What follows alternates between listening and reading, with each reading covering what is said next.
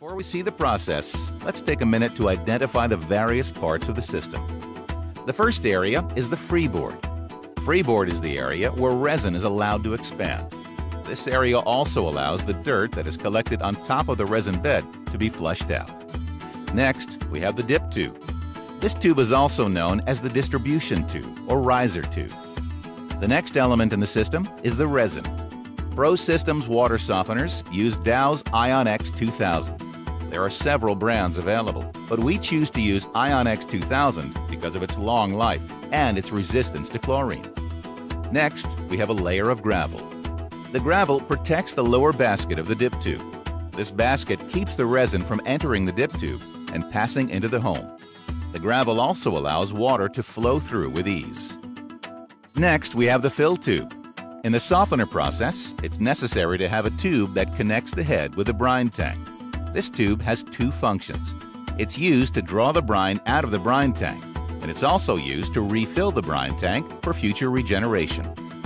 Inside that brine tank, you'll find the brine float assembly.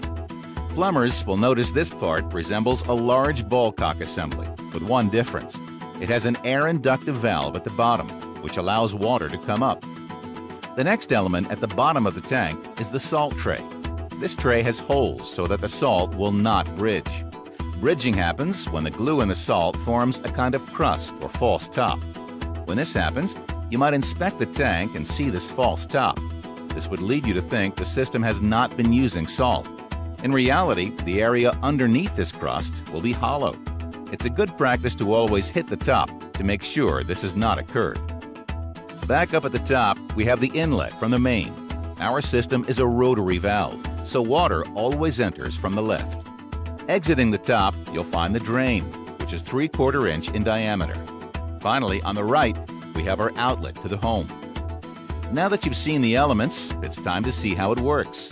By following the arrows, you'll see the process starts with water entering the system.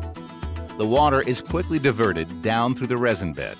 This starts the softening process. Calcium and magnesium are attracted to the resin bed as the water passes through. By the time the water reaches the basket, it's been softened. The softened water then flows up through the center distribution tube and out to the home for use. At some point, the resin will become full of calcium and magnesium and become ineffective. When this happens, we have to give it a recharge. We do this with a process called regeneration. There are three stages to regeneration in a water softening system. Stage 1 requires us to loosen or expand the resin bed. In this stage, water is brought in and diverted down the center tube. The water is then forced up through the resin bed. As the water pushes up through that bed, the resin expands into the freeboard space. This is called stratification. The second stage requires us to pull the brine from the tank. When this stage begins, water enters the system from the left. Pay close attention to the arrows here, as there are two things happening simultaneously. Water is diverted down through the freeboard, back up through the dip tube, and out the drain. As the water passes the top of the fill tube, a siphon is created. This siphon draws the brine from the tank. This is called the brining process. This process takes anywhere from 49 to 84 minutes, depending on the size of the unit. During this process, the amount of water going to drain is about a quarter gallon per minute. Now, with the brine tank full of dissolved salt water, it's time for stage 3, the fill rinse. Since our resin bed is still expanded, we will need to compress the bed back down.